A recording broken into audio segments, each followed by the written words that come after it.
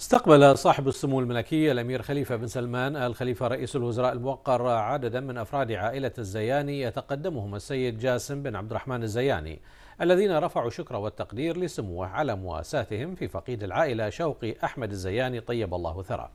داعين المولى عز وجل أن يحفظ سموه ويرعاه لإكمال مسيرة الخير والازدهار في المملكة وخلال اللقاء أشار سموه إلى أن العلاقة التي تربط بين مكونات شعب البحرين ستظل متينة فهي علاقة راسخة تتكئ على مخزون تاريخي تستمد منه قوتها داعيا سمو الجميع إلى العمل على دعم هذه العلاقة وتأصيل قيم التواصل والترابط التي أسهمت في تشكيل المجتمع في إطار منفرد ينضوي فيه الجميع تحت إطار العائلة الواحدة. وقد تبادل صاحب السمو الملكي رئيس الوزراء مع عائلة الزياني الأحاديث الودية حيث نوه سموه بالدور الهام للعوائل التجارية في المسيرة الاقتصادية والتنموية في المملكة ومساهماتها البارزة تاريخيا في تنشيط الاقتصاد وإيجاد المزيد من فرص العمل لاستيعاب الكوادر الوطنية. وأثنى سموة على دورها في تنشيط الحركة التجارية وإسهاماتها في بناء قاعدة اقتصادية قوية. منوها سموة في هذا الصدد بدور عائلة الزياني الرائد